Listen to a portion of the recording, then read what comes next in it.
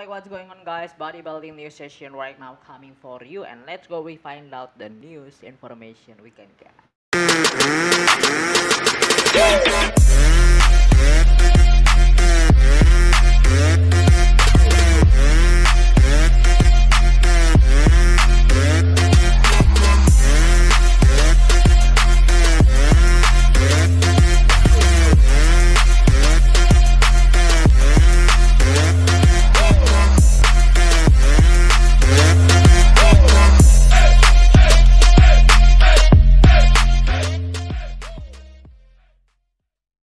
Another news that I want to tell to all of you guys. First news is Michael Krizo look absolutely insane right now. I'm really shocked because why he can pose in front Steve Weinberger, which is one of the head judge, right, for NPC Pro League, for IFBB Pro League, and especially Mr. Olympia, right, if I'm not mistaken.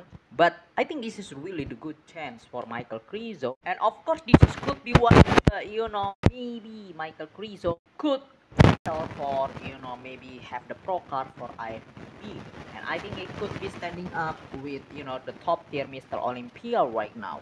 Because I think Steve Weinberger have some kind of the opinion about himself. But you know he's not really show up in the public what's some kind of like the Steve Weinberger Steve Weinberger opinion about Michael Krizo and we don't find at all right now. But soon I'm gonna looking forward about what Steve Weinberger have the opinion. But one thing that we can get, okay, from one of the legend and one of the big name we can say, and his coach also in the top bodybuilder of, in the top bodybuilder cheer, Milo Sarcev have opinion about Michael Krizo that Milo Sarcev really impressed about Michael Krizo physique and this is really you know the dangerous things and the dangerous uh, some kind of like the situation that we can have especially for top tier competitors in the top five we can say in the Mr. Olympia because Milo Sarcev he's one of the great coach one of the best coach right now and he also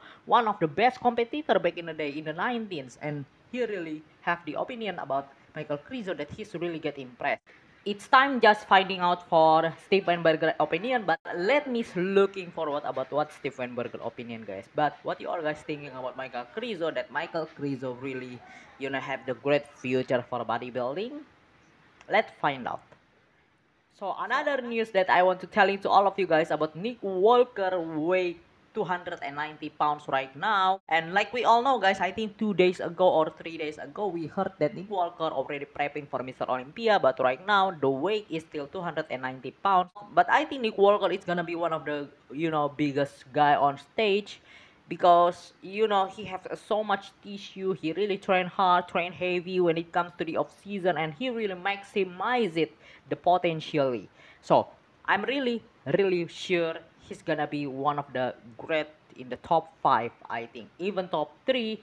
Or what you all guys think? Even maybe he could be win the Mr. Olympia this year, but I don't know because we still have Brandon Curry, we still have uh, Hadi Choopan and Hunter Labrada in the top five. But really, you know, the hardest part for we can get the prediction for Mr. Olympia 2020. This is still July, and we can have more time for waiting until December for Mr. Olympia 2022 event. So what you all guys thinking about Nick Walker? Could Nick Walker win Mr. Olympia or can he, you know, improve his place in the top 3 from the top 5 than he was doing last year?